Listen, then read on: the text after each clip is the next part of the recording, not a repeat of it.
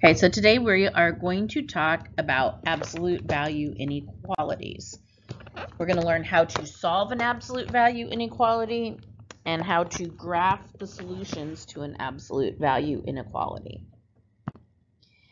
So to solve an absolute value inequality, we're going to get, again, like an absolute value equation, get the absolute value symbol alone, and then we're going to write two inequalities.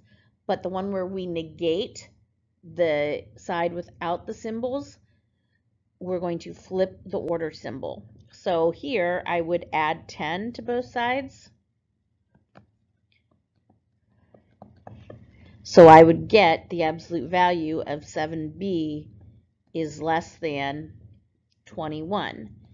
And then I'm going to write two inequalities. 7b is less than 21 and 7b is greater than 21 and we negative 21. So notice that we negated the constant and then we flipped the order symbol. So just divide both sides by 7 and we're going to get b is less than 3. And then we're going to divide by 7 again and we're going to get b is greater than negative 3. So when I go to graph this, my b is greater than negative 3 is going to be everything going in this direction. Okay. My b is less than negative, uh, less than 3 is going to be everything here. Now our solution is where they overlap.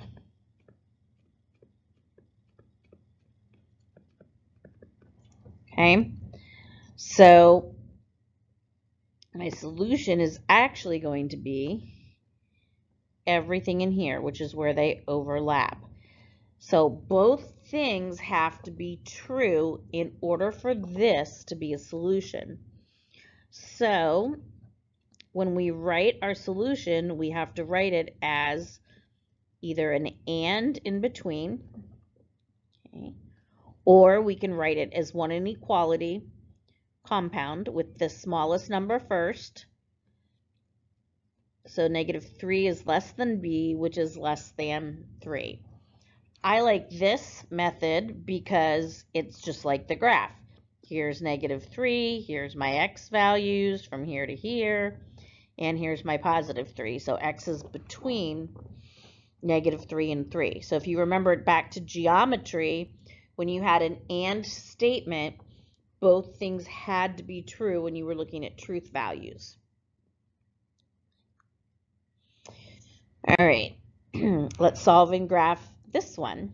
And I'm actually going to change this to or equal to. Okay, so I'm going to subtract 2 from both sides. And I'm going to get negative b plus 3 is greater than 3. Okay, I've got my absolute value symbols alone. So I'm going to write two inequalities. Negative b plus 3 is greater than 3, and negative b plus 3 is less than negative 3. Over here, if I subtract 3 from both sides, I'm going to get negative b is greater than 0, and because of this negative sign, we have to divide by negative 1, and we flip the order sign, so b is less than 0. On this side, if I subtract 3, I'm going to get negative b is less than negative 6. Okay, and then if I divide by negative 1, I'm going to get b is greater than, we have to flip the order symbol, 6. So now when I graph, I've got, it was equal to, I added that underneath, sorry. You always want to double check that. I forget all the time and I have to go back and double check. All right, so I'm going to get a closed circle on 6 and it's greater than, so we're going to go in that direction. A closed circle on 0 and it's less than or equal to, so we're going to go this way. When we write the solution, this is an OR statement. You have to write two inequalities with the word or between them. So b is less than or equal to 0 or b is greater than or equal to 6. Okay, there is no way that a solution to this can be both less than 6 and greater, or I'm sorry, less than 0 and greater than 6. Okay. So this is an or. Only one thing has to be true in order for it to be a solution. Okay. All right, let's graph this. Solve and graph. Remember, we can't distribute, right? We have to divide. So I'm going to divide by 2, and I'm going to get the absolute value of 4x plus 8 is greater than negative 6. Remember that by definition, absolute value is always positive. So a positive number greater than negative 6 is always, always going to be true. Okay, so this means that this is all real numbers. So when we would graph it, it would be the whole thing. I want you to think about what happens if the sign was flipped. What if it was a positive number less than or equal to a negative number? Whatever it might be. Okay? So the absolute value of a positive number less than or equal to negative a. Will that ever happen? I don't think so, right? So this, if you would get the absolute value of something less than negative a, would be no solution or the empty set, however you want to write that. And I don't care how you write that for my class purposes. All right, so now I want to write an absolute value inequality for the following graph. So the first thing you do is you want to find the distance between your two points. So my distance, if you remember back from geometry, is just 12 minus negative 8 or 20. Okay, so that's the good old ruler postulate. Okay. And then I want to find the midpoint. So what would be the point exactly in between? So half our distance would be 10, so I can either count 10 above or 10 below, and that will give me our midpoint. So halfway, so 12 minus 10 is 2. Negative 8 plus 10 is 2. So this is our midpoint of 2. You can also find it by doing, well, just adding would be fine. All right, so our midpoint is 2.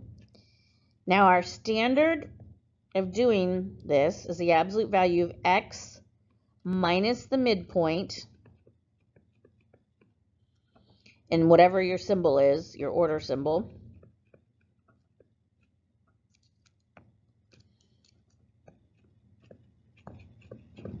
okay, and eat half the distance. So what do I mean by that? So my midpoint, absolute value of x minus 2. Now look at this. We're going to be going away from our midpoint, okay? So our distances are greater than whatever this value is here. So their distance from our midpoint is greater than or equal to, because it's colored in, half of our distance, which is 10. Okay, so absolute value is distance from a point. It's 10. It's 10, but our graph shows it's greater than or equal to that. So that's how we got that equation. Okay. So again, let's find the distance or let's find half the distance, actually, we could find. Okay, so 1 half, 9 minus 3 is 1 half of 6, or 3. Okay, so our midpoint then is going to be right here, three units from each point. So our midpoint is 6. So our inequality is the absolute value of x minus the midpoint, which is 6. Now this time, all of our distances, because this is 3 and 3, are going to be less than or equal to 3. Okay, so everything in my solution is less than or equal to 3 points from 6. So less than or equal to 3. Okay. So I want you to think about how you know whether the graph is an and or an or, whether it's greater than or equal to, and tomorrow we're going to put that all into a consent, a thought. So hopefully today you learned how to solve absolute value inequalities and then how to write absolute value inequalities. Have a math-tastic day.